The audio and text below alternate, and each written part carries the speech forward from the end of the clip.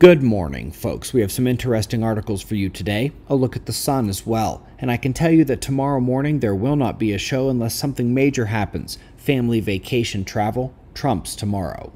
But let's get started with the last 24 hours on the sun and find the star in a continued state of quiet. There have been no flares despite a sunspot count near 200, no eruptive events of note, and the coronal holes are either small or at too high a latitude to be relevant over the last 36 hours. A new sunspot group formed north and ahead of the Big Umbra. So far, it's been pretty quiet, but we definitely can't sleep on the flare risk at the moment, or the plasma filaments, which are numerous and writhing in the corona as we speak. We will have our eyes on those flares, but Again, remember, we do expect things to remain somewhat calm until the 5.9 month cycle uptick later this month or in early August. So let's go to the articles where we begin with the dedicated effort on the Beaufort Gyre.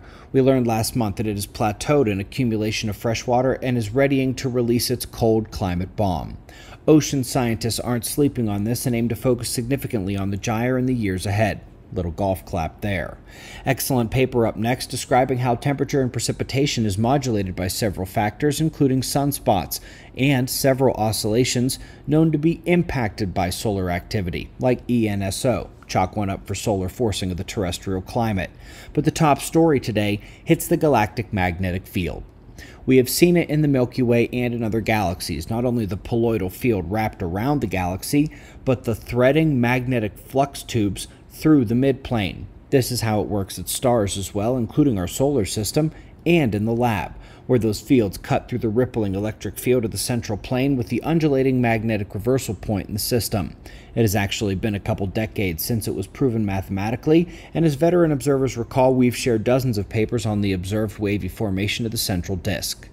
Today, they're looking at how cosmic rays impact that structure and the magnetic fields threading the system. We have moved beyond the identification of it to a presumed state of the feature and outside potential impacts, with them paying special attention to the gas density here.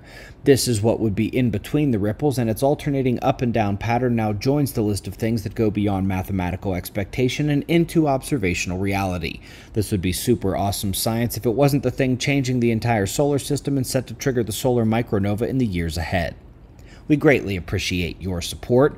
Learn more with the resources below the video in the description box. We likely won't be around tomorrow morning, but when we return, it'll be right here. Right now, it's 5:30 a.m. in the new Valley of the Sun. Eyes open. No fear. Be safe, everyone.